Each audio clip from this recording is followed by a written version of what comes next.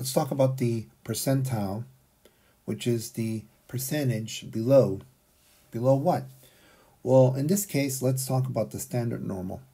I would recommend that you watch the empirical rule video, which describes the variation from the mean of a normal distribution and also describes the area under the curve based on the spread of the data.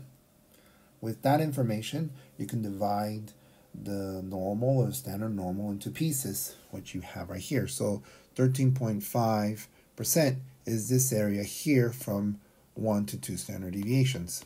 Okay, so percentile is a cumulative um, process that starts from negative infinity, meaning the area, you're counting the area under the curve from negative infinity.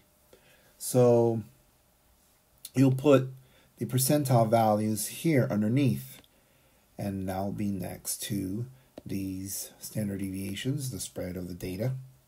So from negative infinity up to negative 2 standard deviations from the mean, that's 2.5%. And I'm going to add another 13.5%. Percent, that gives me 16%.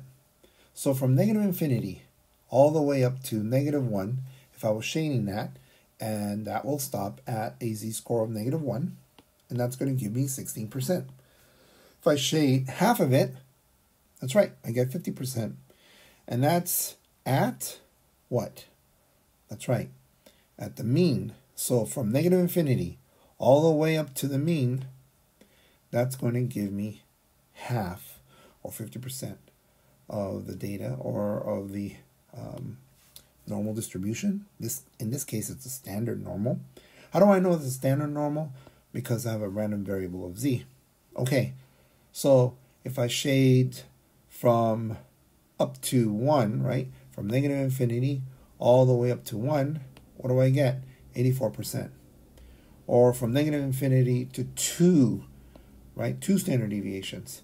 That's 97.5. And if I keep shading all the way, I'll get 100%.